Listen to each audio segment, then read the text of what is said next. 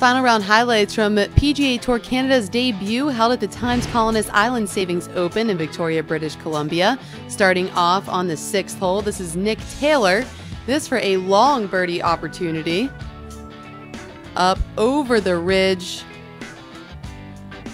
Does not read it quite right. We'll leave it short. We're going to tap that one in for par to remain at six under overall.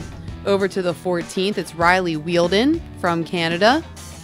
This on the 14th, his second shot.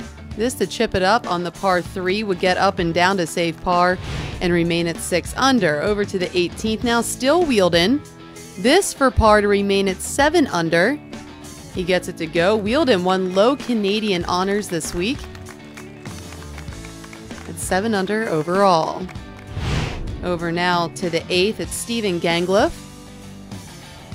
He's coming off a birdie on seven. He began his day one back of Tyler Aldridge at seven under par. That to get to nine under from about 30 feet out. He was not done yet. But first, let's take a look at the other American in contention this weekend, Tyler Aldridge. He's coming off birdies on seven and eight. This on the par three ninth, missed the green. Looked like that birdie streak would end, but he says not so fast as he has a incredible chip in for birdie to get to nine under par, which is where he would finish. One under on the day, but that would not be enough because Gangluff, like I said, was not done as he keeps it rolling. That for a birdie on the 16th to get to 10 under.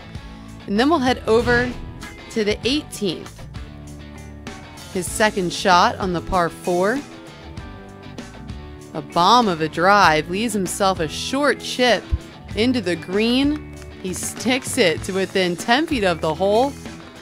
This for the birdie and the outright win. Stephen Gangluff looking to become the first winner on PGA Tour Canada. And he gets it done at 11 under par. American Stephen Gangluff is your first winner of PGA Tour Canada.